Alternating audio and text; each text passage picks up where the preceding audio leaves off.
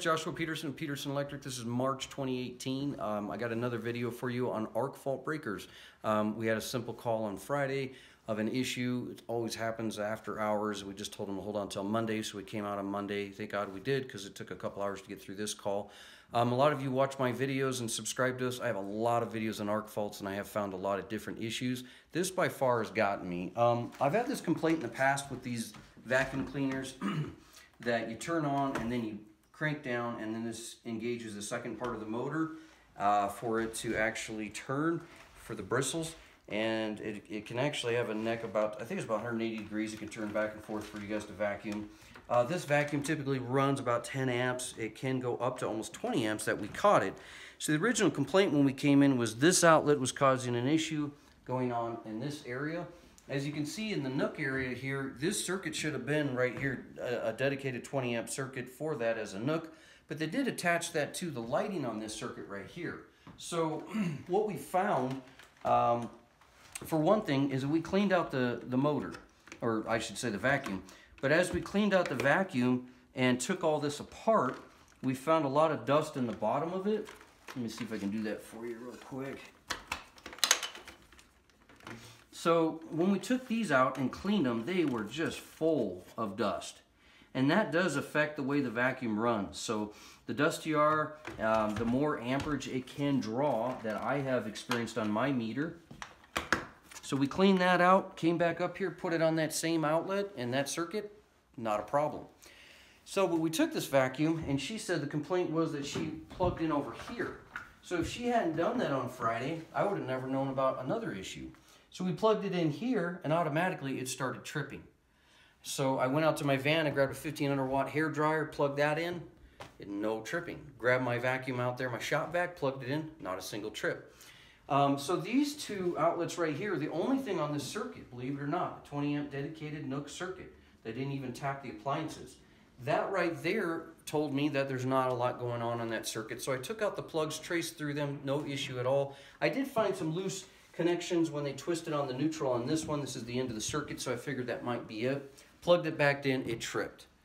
I went over there because this circuit, and I grabbed that breaker off the panel, and I put it on this circuit over here with this wire.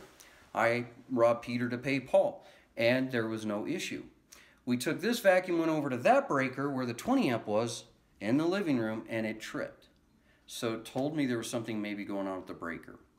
So then we got through with all that. We tested with another arc fault that was down in the basement, and we did not have it trip as per se on that circuit when the vacuum was on it, but we did have the breaker trip with the vacuum again. So I started thinking there wasn't a breaker issue. Then I got over here and I got into this outlet and I started to see that possibly could be something inside of the outlet. So I changed the plug and it still tripped. I didn't want to just start changing parts but then when I got into the panel and started looking at the wire, I did see that the electrician got kind of heavy on cutting in on those conductors and the hot was had a nick. So I taped that and I still had a trip. So I finally resulted and got to the fact that we had a BR Cutler Hammer breaker, uh, the green uh, test reset with the black handle, and I re replaced that one and now the issue has gone away.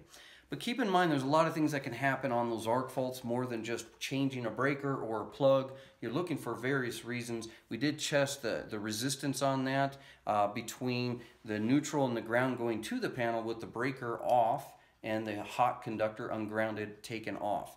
And I did see on a 20 amp breaker that I had 8 ohms of resistance between the neutral and ground. On a 15 amp I had 6.7 on the living, but then the basement circuit, which is barely used because it's unfinished, was 3.6.